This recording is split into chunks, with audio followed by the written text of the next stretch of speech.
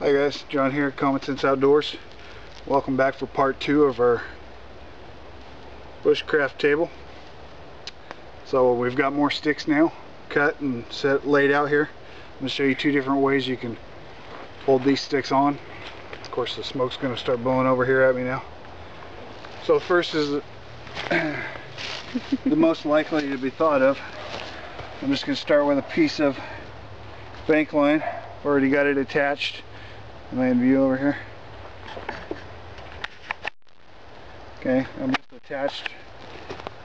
And I'm just going to take my line and go over the next piece. Pull it back tight towards the first piece.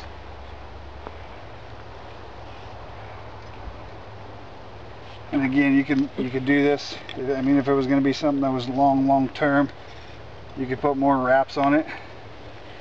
But for the most part I'm just going to catch each stick with one wrap.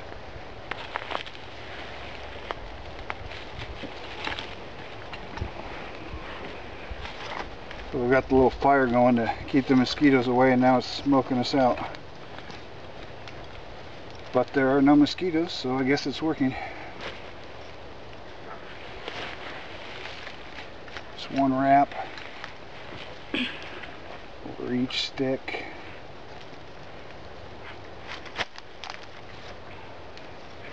Hang it up on the saw, and the other pieces down here every time.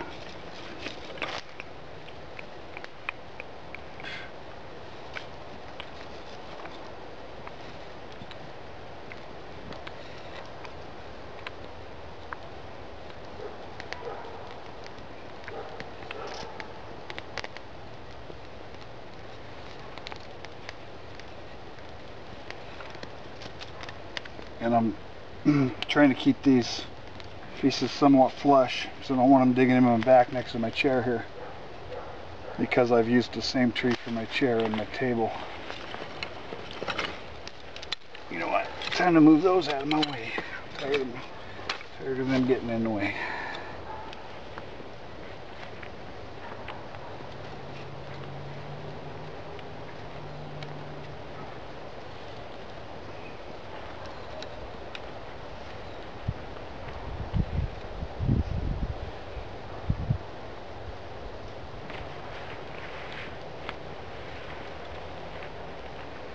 work with me. Work with me, cord.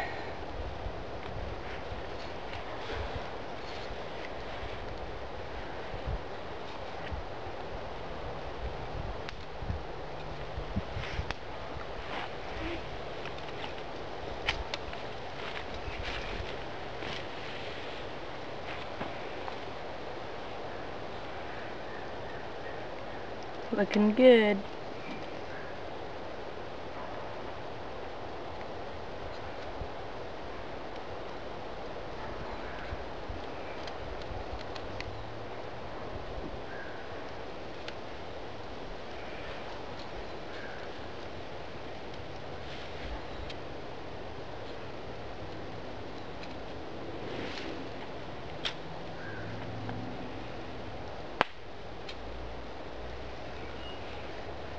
Doesn't have to be perfect. Just got to hold them on there. My cordage isn't going to be long enough by any means. So we're going to have to tie it off and start with another piece.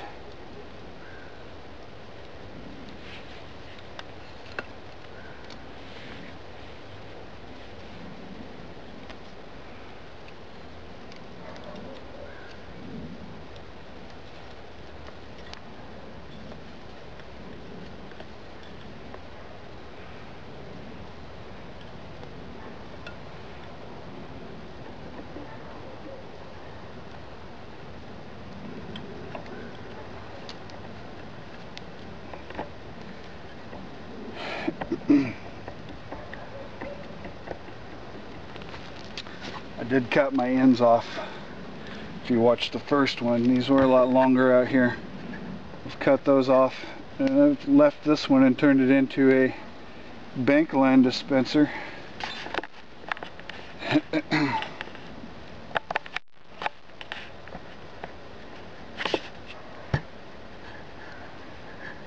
try to join these two pieces together.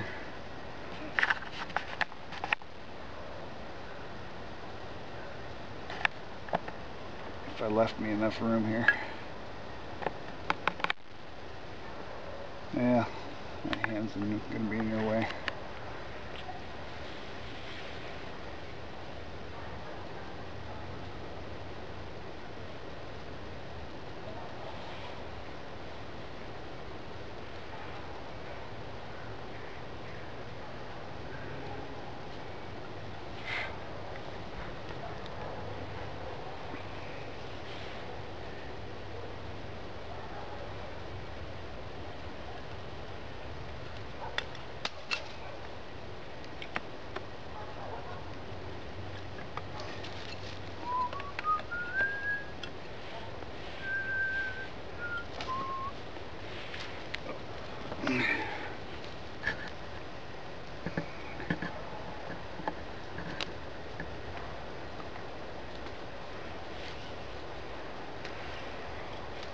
Probably have too much cord now.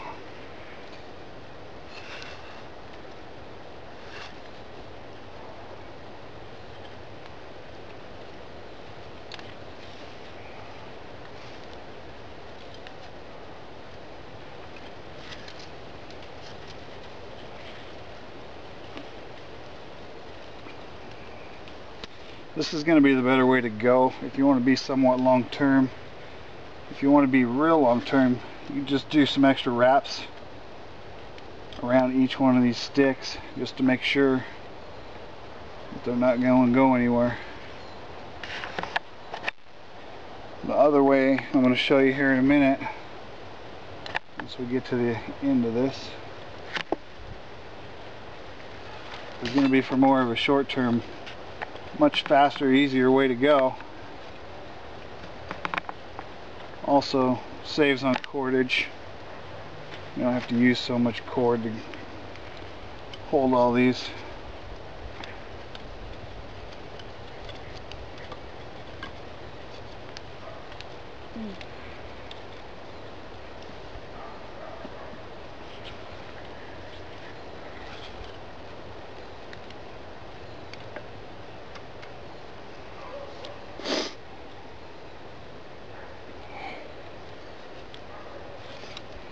Debated on whether I wanted to make this table. As those of you that have been watching my channel know, I had another survival camp set up out here further deeper into the woods that was found by some kids and they kind of tore some stuff up and took some stuff that I had made at the camp. So we've moved to this new spot down closer to the house hoping that they'll stay away. But my debate on whether I wanted to make this table is because it's going to make it make our new spot here a lot more visible in case they come down this way. Maybe I can find a nice bush or something to put over it when I'm not here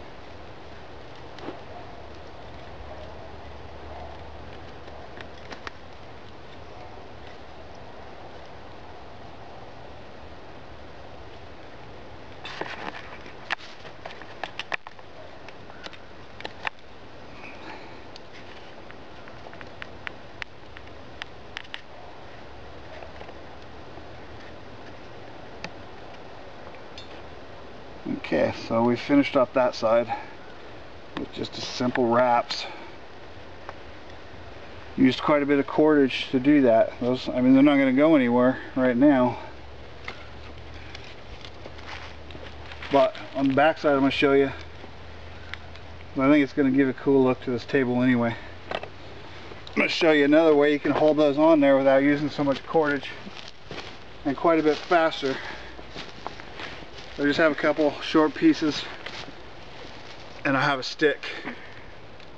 I'm just going to put the stick across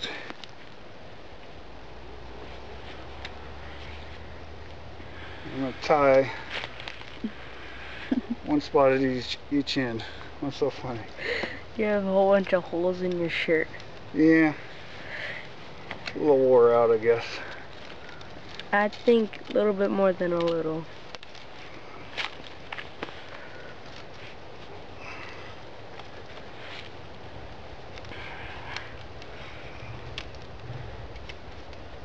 Go ahead and wrap this a couple times.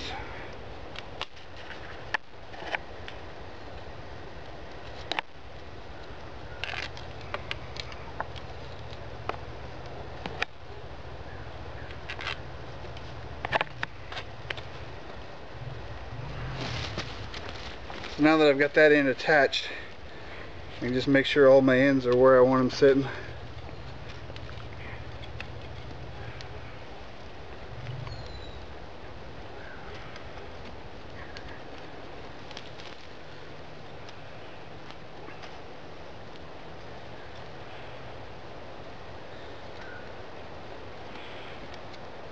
run my loop around this end. Tighten this end down.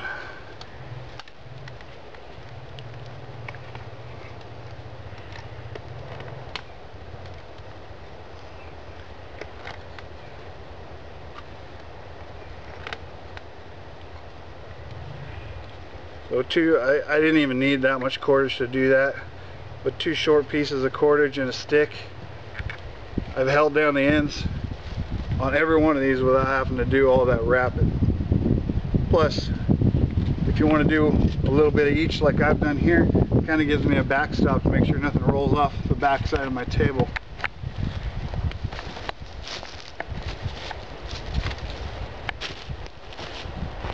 So, and if you noticed, I started to show you in, in part one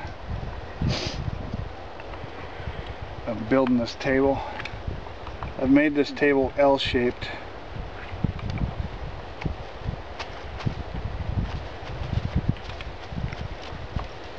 purpose and I'll show you why here in a second.